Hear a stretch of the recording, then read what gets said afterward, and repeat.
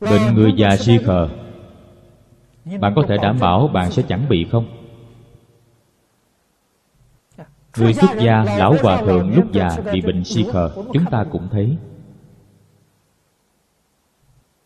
Lần này tôi đến Hương Cảng.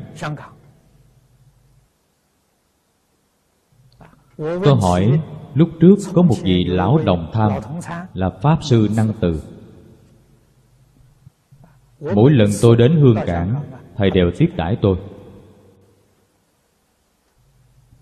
Lần này tôi đi hỏi Pháp Sư Trí Huệ. Vì lúc trước, Pháp Sư Năng Từ Có trú tại Liêu Phòng Chùa Bảo Liên. Tôi nói, Lão Pháp Sư này còn có ở đó không? Nếu còn thì đã tám chín chục tuổi rồi.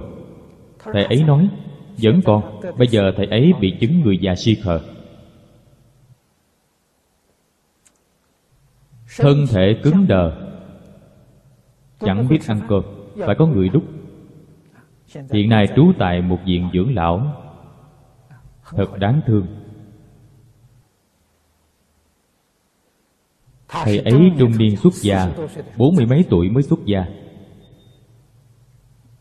Lúc trước theo Đàm Hư Pháp Sư. Lúc Đàm Hư Pháp Sư giảng kinh ở Hương Cảng, Rất nhiều bài vở đều do thầy ấy ghi chép lại. Thông đạt kinh giáo. Đến già cũng thật thà niệm Phật, Tại sao lại bị bệnh này? Vọng tưởng quá nhiều. Thầy ấy là người tỉnh An Huy Kể ra là đồng hương với tôi. Nên mỗi lần tôi đến đó thầy đều kiếm tôi. Kiếm tôi để làm gì? Để nói chuyện Nói những chuyện đời xưa Nói hoài chẳng hết.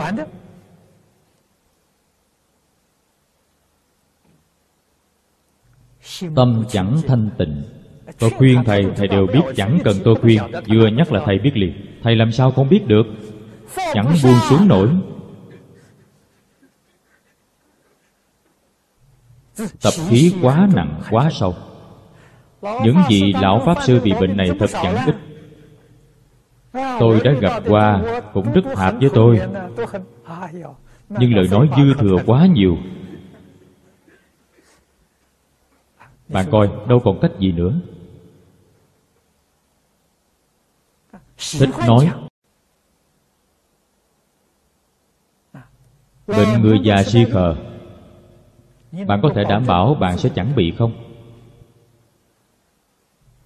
Người xuất gia, lão hòa thượng lúc già bị bệnh si khờ Chúng ta cũng thấy. Lần này tôi đến Hương Cảng. Tôi hỏi Lúc trước có một vị lão đồng tham Là Pháp Sư Năng Từ. Mỗi lần tôi đến Hương Cảng Thầy đều tiếp đãi tôi Lần này tôi đi hỏi Pháp Sư Trí Huệ. Vì lúc trước, Pháp Sư Năng Từ Có trú tại Liêu Phòng Chùa Bảo Liên Tôi nói, Lão Pháp Sư này còn có ở đó không? Nếu còn thì đã tám, chín chục tuổi rồi. Thầy ấy nói, Vẫn còn. Bây giờ thầy ấy bị chứng người già si khờ. Thân thể cứng đờ. Chẳng biết ăn cơm. Phải có người đúc. Hiện nay trú tại một viện dưỡng lão. Thật đáng thương. Thầy ấy trung niên xuất gia Bốn mươi mấy tuổi mới xuất gia. Lúc trước theo Đàm Hư Pháp Sư. Lúc Đàm Hư Pháp Sư giảng kinh ở Hương Cảng Rất nhiều bài vở đều do thầy ấy ghi chép lại Thông đạt kinh giáo. Đến già cũng thật thà niệm Phật Tại sao lại bị bệnh này? Vọng tưởng quá nhiều.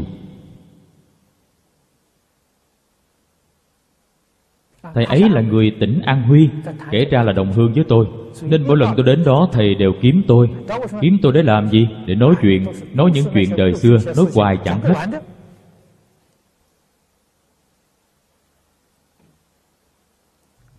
Tâm chẳng thanh tịnh.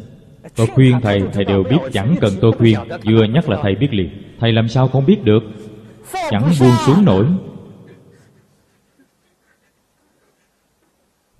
Tập khí quá nặng, quá sâu. Những vị lão Pháp Sư bị bệnh này thật chẳng ít. Tôi đã gặp qua Cũng rất hạp với tôi. Nhưng lời nói dư thừa quá nhiều Bạn coi đâu còn cách gì nữa. Thích nói. Bệnh người già si khờ. Bạn có thể đảm bảo bạn sẽ chẳng bị không? Người xuất gia, lão hòa thượng lúc già bị bệnh si khờ Chúng ta cũng thấy. Lần này tôi đến Hương Cảng Tôi hỏi Lúc trước có một vị lão đồng tham Là Pháp Sư Năng Từ. Mỗi lần tôi đến Hương Cảng Thầy đều tiếp đãi tôi. Lần này tôi đi hỏi Pháp Sư Trí Huệ Vì lúc trước Pháp Sư Năng Từ Có trú tại Liêu Phòng Chùa Bảo Liên Tôi nói, Lão Pháp Sư này còn có ở đó không? Nếu còn thì đã tám, chín chục tuổi rồi. Thầy ấy nói, Vẫn còn, Bây giờ thầy ấy bị chứng người già si khờ. Thân thể cứng đờ, Chẳng biết ăn cơm, Phải có người đúc. Hiện nay trú tại một viện dưỡng lão, Thật đáng thương. Thầy ấy trung niên xuất gia, Bốn mươi mấy tuổi mới xuất gia. Lúc trước, theo Đàm Hư Pháp Sư, Lúc Đàm Hư Pháp Sư giảng kinh ở Hương Cảng, Rất nhiều bài vở đều do thầy ấy ghi chép lại. Thông đạt kinh giáo. Đến già cũng thật thà niệm Phật, Tại sao lại bị bệnh này? Vọng tưởng quá nhiều. Thầy ấy là người tỉnh An Huy Kể ra là đồng hương với tôi. Nên mỗi lần tôi đến đó thầy đều kiếm tôi. Kiếm tôi để làm gì? Để nói chuyện Nói những chuyện đời xưa Nói hoài chẳng hết.